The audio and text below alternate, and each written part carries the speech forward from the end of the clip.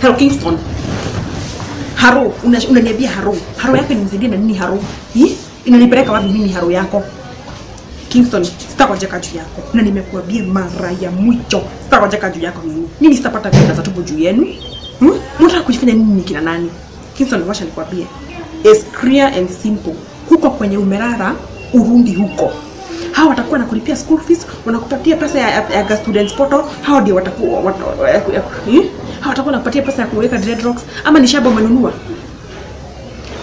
Nyeri kufanya nini? Batch. Oh, si, oh, sio shaba umenunua? Sio shaba umenunua, ulikuwa umeenda kuangalia ukulima wako vile unaendelea. Mm. Ukae na huko, watakusaidia hawa marafiki wako. Marafiki wako sio wako na maana kuniliko. Huwezi nisikiza. Mimi nilikupeleka kwa marafiki, nilikupeleka batch Nyeri. Mm.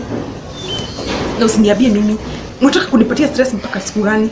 Mimi sitawajaka juu yenu, sitawataganya. Mhm.